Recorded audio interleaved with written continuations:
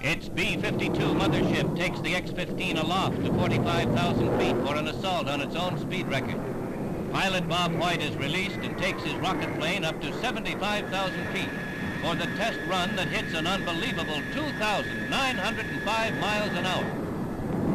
In less than seven minutes, he's back on the ground with a new record, though he used only two-thirds power.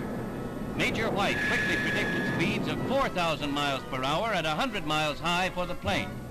At today's speed, a rocket ship could leave New York and arrive in Los Angeles in 55 minutes.